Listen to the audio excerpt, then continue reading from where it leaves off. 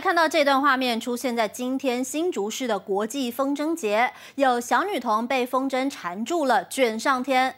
这名年约三岁的小女童，今天下午跟家人一起去风筝节玩，她被糖果风筝的尾端缠住了身体，而当时现场哦，阵风超过六级，她整个人被卷到了大约是四层楼的高空，现场尖叫声四起，最后是民众围在一起，顺利的把小女童接住，而小女童饱受惊吓，不断的哭泣，脸部、颈部都有擦伤，幸好送医后没有大碍。而为了确保民众的安全，事后主办单位已经暂停了所。有活动，市府也出面道歉，强调会检讨相关疏失。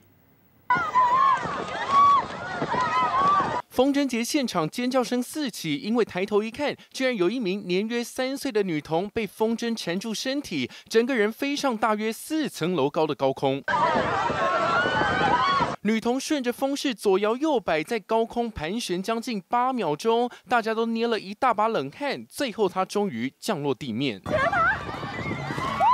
现场民众围在一块，伸出双手，顺利把女童接住。当下女童受到惊吓，放声大哭，也赶紧被送医治疗。就这边有勒痕，哭当然一定会啊，就是。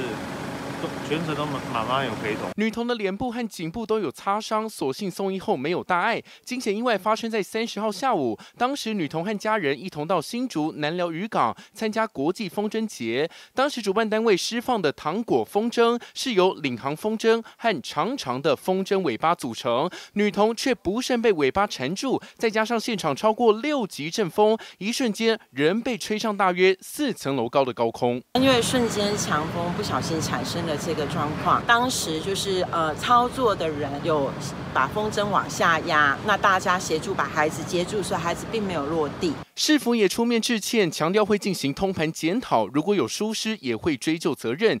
物理老师也指出，风筝尾巴面积大，再加上强阵风，如果被缠住，真的有可能把人吹上空中。那个尾巴那个要去卷到那个妹妹的那个腰还是哪里，等于类似把它绑起来，绑起来刚好那个彩带一飞上去，那个力量够大，就把那个妹妹就。